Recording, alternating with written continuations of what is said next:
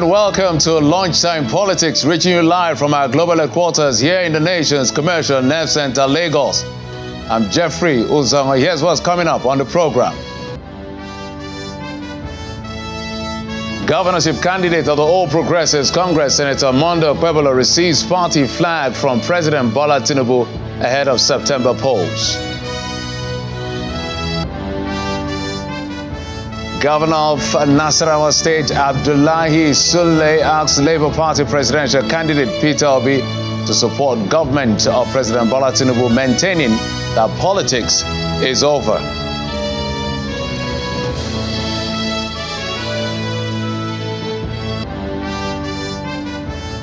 And troops avert a kidnap attempt by violent extremists, rescue the abductees in Tantua, a community of Kajuru local government area of Kaduna State.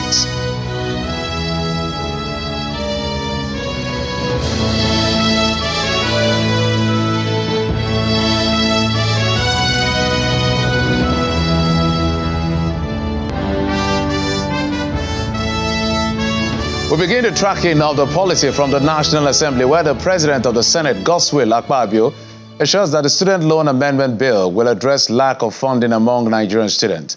During a public hearing on the Students' Loan Scheme, Scholarship and Higher Education Financing on the Student Loan Repeal and Reenactment Bill 2024, it says the legislative agenda of the 10th National Assembly will enhance the standard of living of Nigerians. Our correspondent Gloria Omezeke, who reports, brings us this particular story amongst other activities at the Senate. Barely one week after the National Assembly passed the Students' Loan Bill for the second reading, a joint committee conducts a one day public hearing to review the Repeal and Reenactment Bill 2024. Public hearings are The deputy president of the Senate, Senator Jibrin Barau, who represents the Senate president, reminds of the gains accruing from the Students' Loan Fund. Today's joint hearing, which focuses on student loan, stroke access to higher education, repeal and reenactment bill 2024, will no doubt add to the quality of legislations the President and National Assembly will bequeath to our citizenry at the end of its tenure. In a technical session, some major aspects of the bill are highlighted. Annually, less than 10% of Nigeria graduates get reabsorbed into the labor force upon completion of their youth service.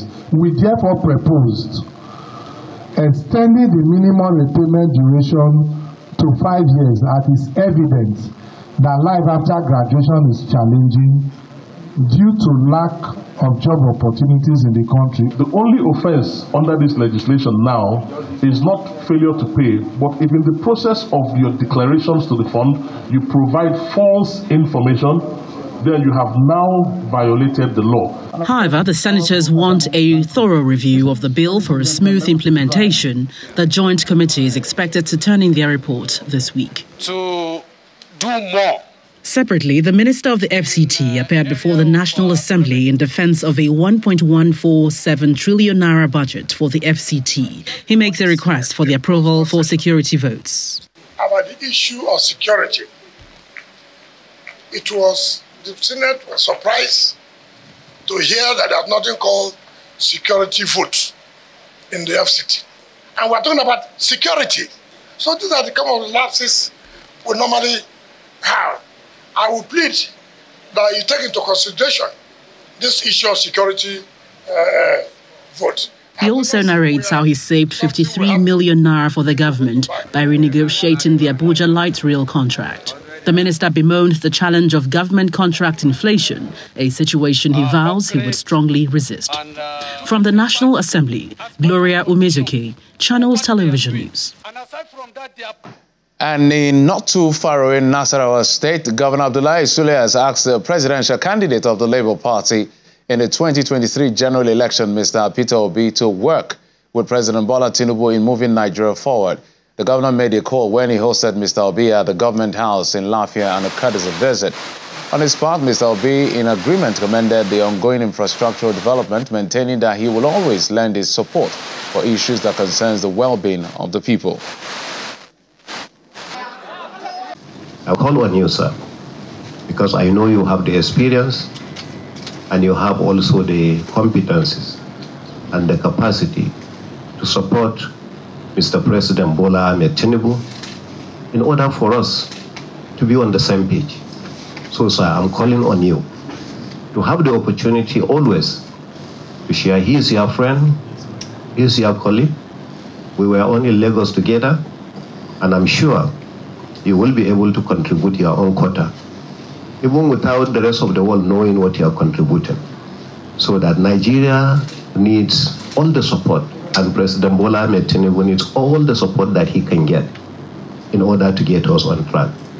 The country, country's challenges cannot be resolved by only one person anywhere. And I'm sure you have contributions to make, just like you are making in Nasarawa State by drilling the boreholes that you are doing and contributing for the period of the fasting.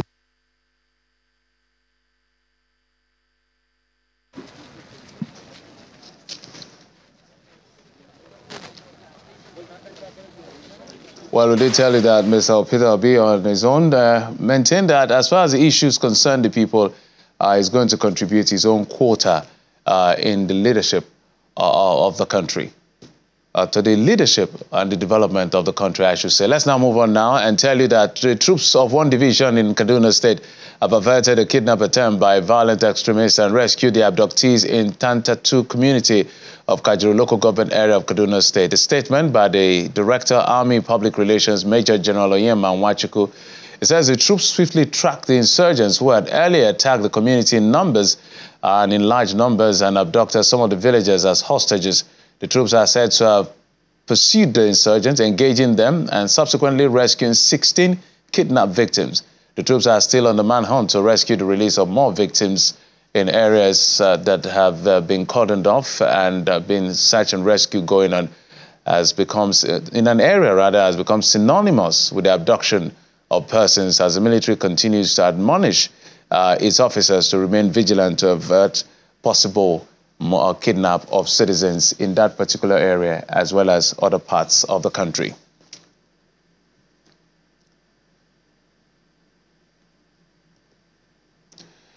In the meantime, the FCT administration, in collaboration with the FCT police, have embarked on a clearance of escape routes used by kidnappers in the nation's capital.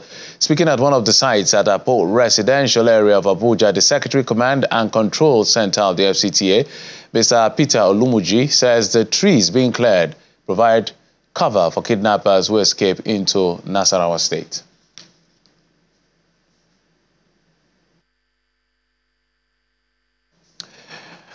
We'll now shift gears now to the incident that uh, we've been tracking literally from the weekend all the way till now. We have told you uh, that two things have happened in Delta State in recent time. The one that grabbed the first headline was actually the incident that about 16 soldiers were killed, but there's another that had to do with uh, some riders of motorcycle hoodlums, as we reported yesterday, are taking over the roads and major markets in places like Asaba and Okpanam, in Oshimili North and South local government areas. According to eyewitnesses, it had to do with a group of motorcycle riders who took to the street in anger and they're destroying property.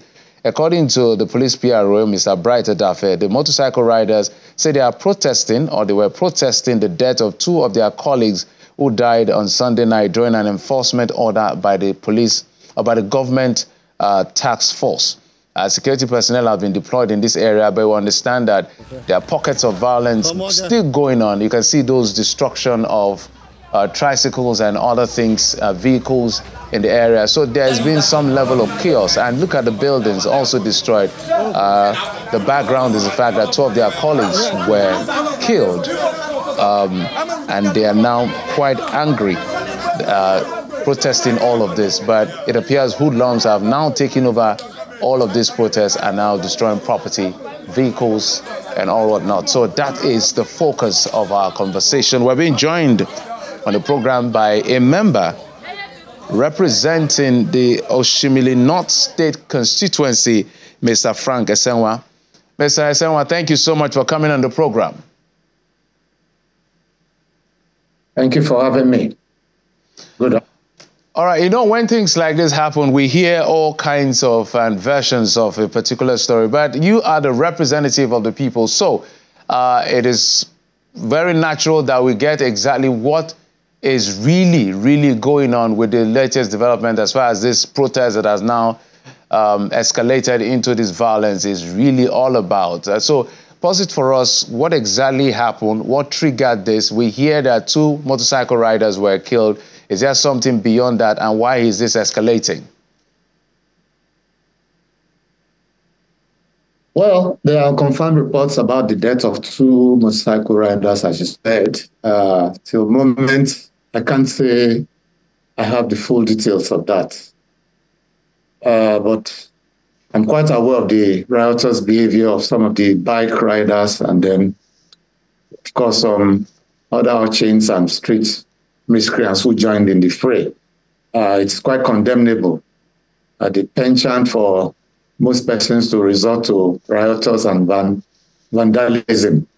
I even gathered, of course, you know, my constituency is part of the conurbation, that is the Asaba Okpana metropolis. Okpana is actually within um, uh, it was within the capital territory. That is, there's really no boundary as such. If you if you come around here to see, so I'm aware some of them went into some market areas of Okpana trying to cause some mayhem there. And uh, like I said, the behavior is quite condemnable. The police and the authority, they are in control of it. The situation has been calmed down. Fortunately, they went and did some damage also in the sister constituency called, uh, that is Oshimili South. That is the much I can say for now. But as I said, the situation is under control.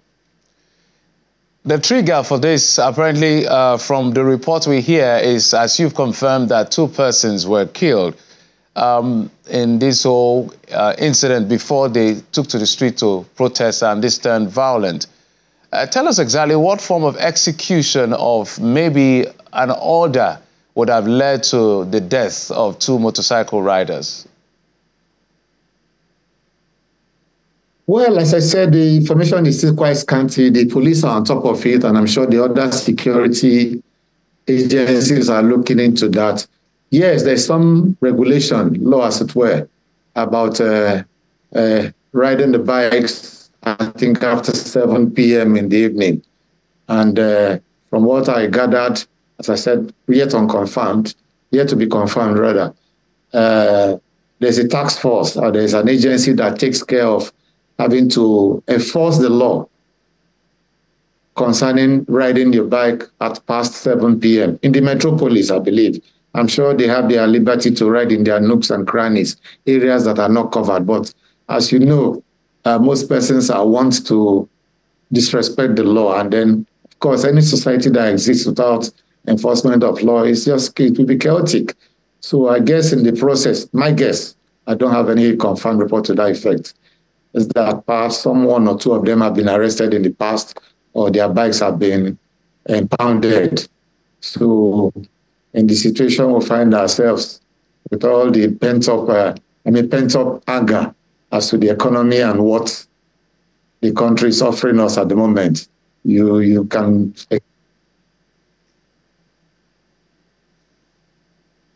All right, Mr. Samuel, if you can hear me, uh, I guess advantage of it. Okay. Uh, for a moment, uh, we lost a signal, so we didn't hear all you said. But I know that as a politician, uh, technically we can say these are your constituents because when you want to vie for office, these are some of the people you had to, to talk to uh, to support your ambition. Now that this has occurred um, and they're in the lower cadre of the economy, besides what the investigation that is going on, whatever the government is saying, have you been able to reach, reach out to maybe the union or some persons directly involved in this, and what are they telling you besides what the police or anyone will say? Yes, I've had cause to interrogate one or two persons. Up now the union know, and uh, of course I interact with. I stop intermittently at places, talk to Okada riders and Keke riders as to what is actually. A lot of them have different uh, sides to the story. You know, most of them just hear and then dwell on hearsay. And as a lawyer, trained lawyer, I don't dwell on hearsay. I would want to be seized of the complete facts to be able to, of course, at some point in time, we'll have interactions with them. Before the campaigns, we did, and then we also do going forward. It's a continuous process. You know, like I said,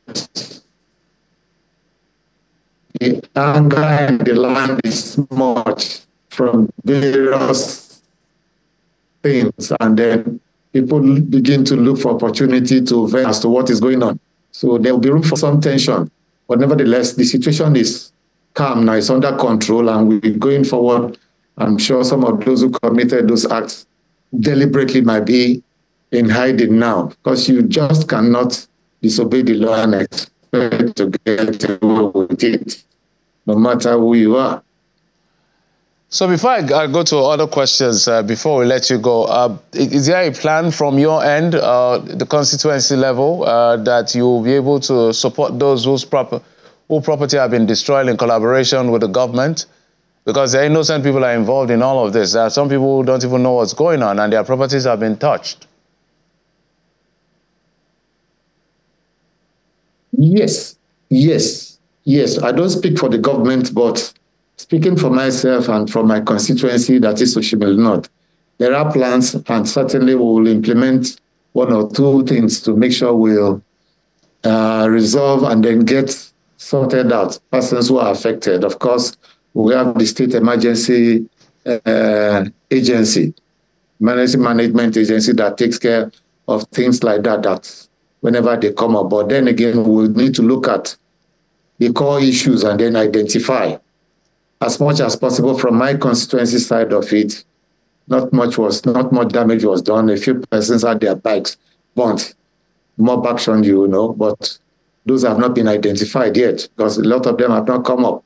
I believe the state governor will do something quite positive. At the moment, he's still having to attend to some other issues, the border and security in the state. And all right, honorable, I, I, I, my apologies, uh, totally out of time, but I, I must, I must uh, ask you this particular question. But I am happy you mentioned time and again in your submissions, you said things like the anger due to the economy, um, and I'm sure that as a member of the House of Assembly, uh, you must be putting the government on their toes to ensure that they alleviate the pains of the people so that some of this pent-up anger can be doused. But the question I want to ask you if I let you go is the incident that uh, happened in uh, Ughelli South now, uh, the where soldiers were killed. Um, from uh, a house perspective, I know you represent Oshimili, but this is the state now. Uh, what, what, what is the latest in terms of what's happening in that particular community called Okuama? Do you have any information that you may want to share with us?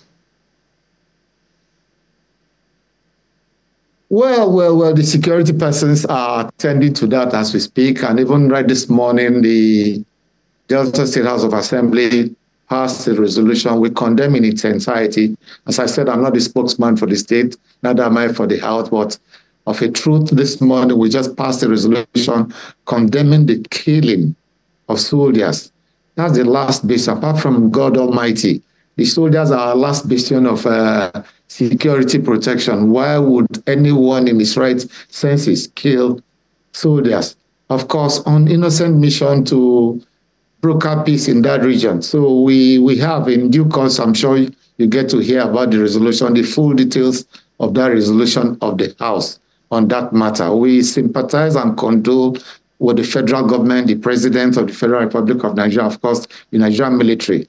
It is not something to be heard of. It's painting us in real bad light, and we are indeed in very serious mourning mood with the families of those who were killed.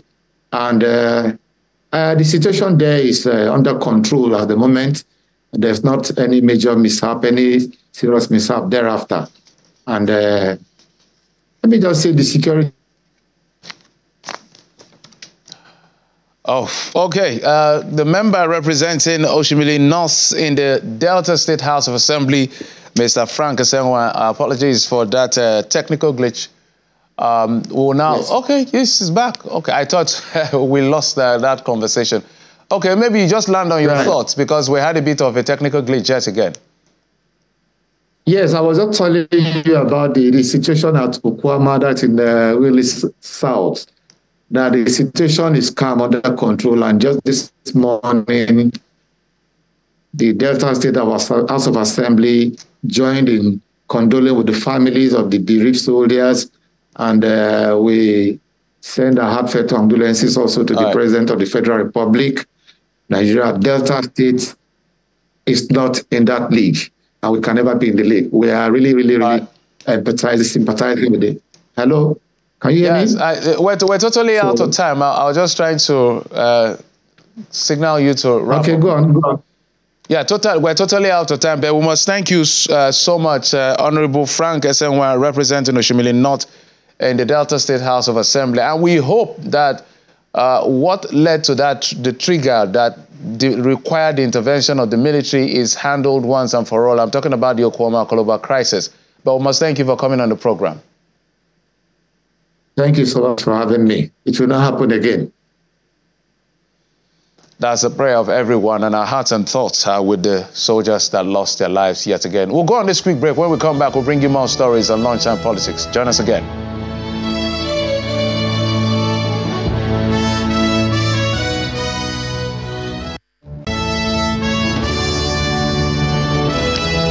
Welcome back to the optimism, and now to the optimism uh, shared by President Bola Tinubu of the success of his party ahead of the Edo State governorship election in September. At a brief ceremony for the presentation of the party's flag to the Edo State governorship candidate, Senator Monday Okpebholo, and his running mate Dennis Idahosa at the State House, President Tinubu commended the leadership of the party in Edo State for resolving the contentions contentious issues that trailed the primaries. The event had in attendance the national chairman of the APC, Mr. Abdullahi Ganduje, among other leaders. You understand the importance of Edo State to Nigeria and particularly to APC. I am very glad of what you've done as party leaders, putting our house in order. To our candidate, thank you. To the running mate, thank you. We are putting you forward to be able to hold the party in trust for us and get a victory for us. If you are happy, we are happy. Are you determined? Are you? If you are, we are determined. We are going to walk with you.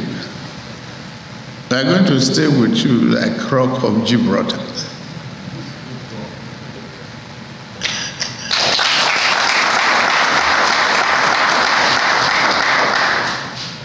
That's all I can show you. The party is supreme, but victory is superior.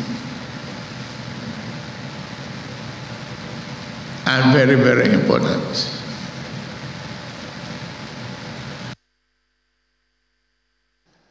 Now, away from that, the Court of Appeal, Abuja, has dismissed the appeal brought before it by one of the lawyers of the detained leader of the proscribed indigenous people of, people of Biafra, uh, Mr. Nnamdi The lawyer, Felix Okonkwo, is challenging the unlawful arrest and detention of his clients by the police and the SSS Delivering judgment, Justice Okon Abang dismissed the appeal for lack of merit and substance. Justice Abang held that the appellant failed to establish miscarriage of justice in the judgment of a high court of the Federal Capital Territory in the matter. He further held that from the video footage tendered as exhibit by the appellant at the trial court, there was nowhere the operatives of the SSS were found at the scene of the arrest in the house of one Mr. Ifeanyi Ejiofor in Anambra State. The appellate court justice disagreed with the appellants in their claims that 2 million naira compensatory damages be, was grossly in, insufficient. According to Justice Abang, the decision to award compensatory uh, damages at the discretion of a judge and cannot be dictated by a plaintiff or an appellant. We're not done with the court yet. The former national chairman of the People's Democratic Party, Mr. Bello Mohammed, has been rearranged before Justice Peter Lifu of the Federal High Court, Abuja, over a 300 million naira fraud allegation brought against him by the Economic and Financial Crimes Commission, the EFCC. He was arraigned or rearraigned this time on a four-count charge bordering on his alleged role in the diversion of funds meant for the procurement of arms through the office of the former National Security Advisor, uh, Sambo Dasuki.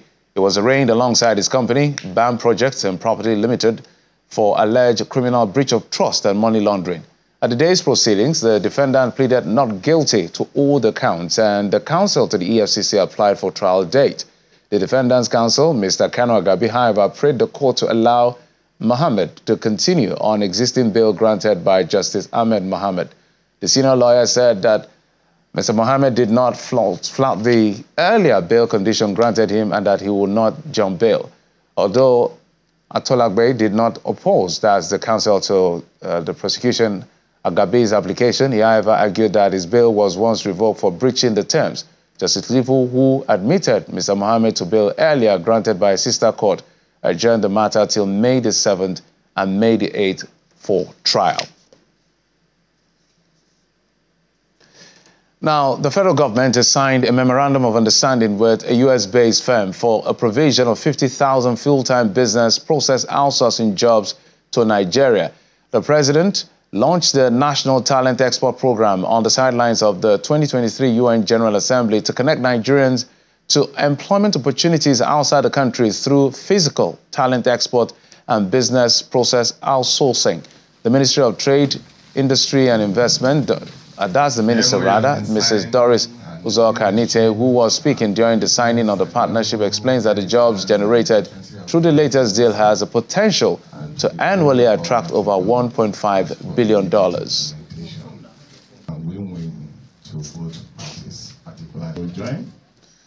And that's it on the program. Thank you so much for your time and, of course, your usual company. I'm Jeffrey Uzonga. You've been served on lunchtime.